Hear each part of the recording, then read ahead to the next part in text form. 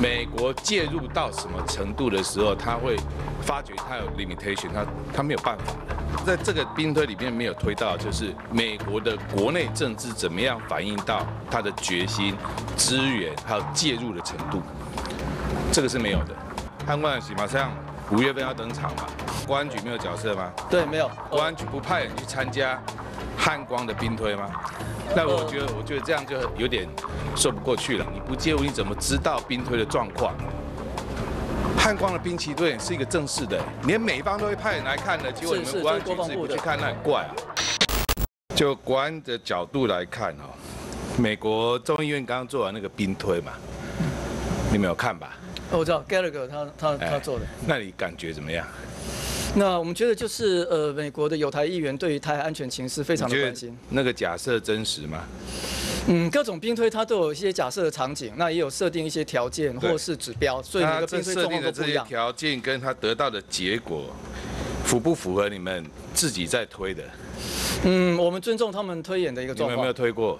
呃，我我们归我们的，那他们是归他们的。你们有没有一直在推？有有有，这都有。一直在推。对。今年推了几次？嗯，我已经算不清楚了，因为我们不断的开会在讨论相关的状况。好，那他这里有有几项结论嘛？哦，我不知道这个结论跟你们所推的有没有一致的。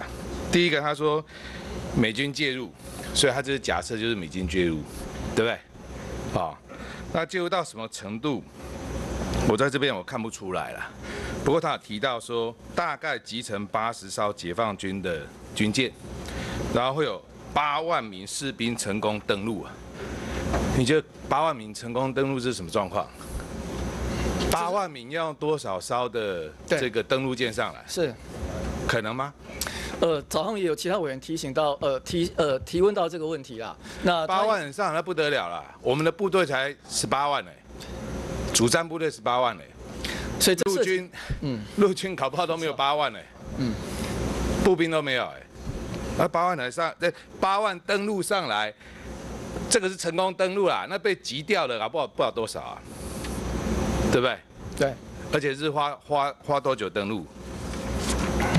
他的这个他的这个兵推啊，没好像没有花多多久时间就登陆了呢？你觉得可能吗？这也是为什么一开始我就会讲说，如果讲可能的话，那真的是大家是没有没有，就各种兵推的条件真的都不一样了。那我很难，因为没有参与那一次兵推来评论它的结果，因为很多的内部的细节会影响到兵推的结论。另外一个他说远程飞弹，对，啊，他用远程飞弹打打打，啊，然后呢，他说美国的这个远程的隐形反舰巡弋飞弹也用光了。啊，所以也没有办法再帮你什么了。好，那那请问一下，这个状况你们有没有模拟过？就是说，美国介入到什么程度的时候，他会发觉他有 limitation，他他没有办法了。这你们有没有模拟过？因为美国的介入的程度涉及到美国的政治决心有多强，那这本身就是一个变数在。所以那什么会影响政治决心？什么样的状况影响到美国的政治决心？那比如说现在的乌克兰也一样嘛，哈。对。美国没有直接派兵介入，可是他武器介入。是是。啊，他的军援介入，对不对？还有情报的分享。国际政治情报介入，那你认为美国现在的介入乌克兰的程度，他的政治决心有没有受影响？没有，我觉得呃，或者受到什么影响？